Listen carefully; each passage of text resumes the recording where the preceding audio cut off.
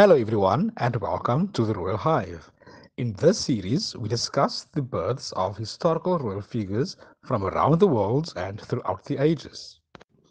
Today, we are celebrating seven historical royal births. Our first celebrant being Abu al Hajjaj Yusuf ibn Ismail of Granada, who was born in 1318 as the third son to parents Ismail I and Bahar. He was the seventh Nasrid ruler of the Emirate of Granada, ascending the throne at the age of 15. Although he suffered many territorial losses, his reign saw the flourishing of literature, architecture, medicine, and the law. He died on the 19th of October 1354 at the age of 36. Our second celebrant for today is John II of Aragon, who was born in 1398 to parents King Ferdinand I of Aragon and Eleanor of Albuquerque. He was King of Navarre through his marriage to Blanche I, having a son with her, Charles, Prince of Viana. John was also father to Ferdinand II of Aragon, who married Isabella I of Castile. Ferdinand and Isabella were called the Catholic monarchs and united Aragon and Castile to create the Kingdom of Spain.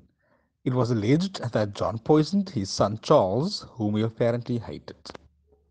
Our third celebrant for today is Maria of Aragon, who was born in 1482 to parents Isabella I of Castile and Ferdinand II of Aragon, the Catholic monarchs.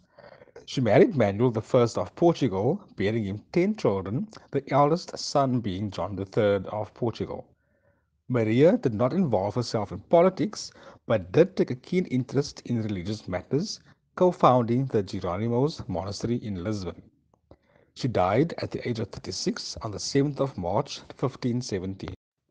Our fourth celebrant for today is Emperor Go-Mizunoo of Japan, who was born in 1596 as the third son to parents Go-Yōzei and consort Konoe Sakiko.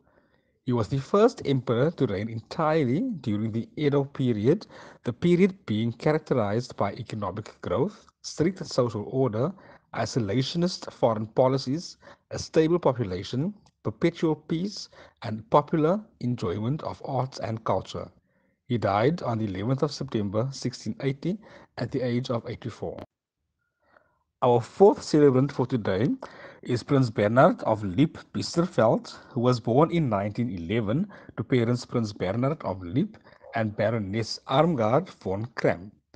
He was born in the sovereign Principality of Lippe.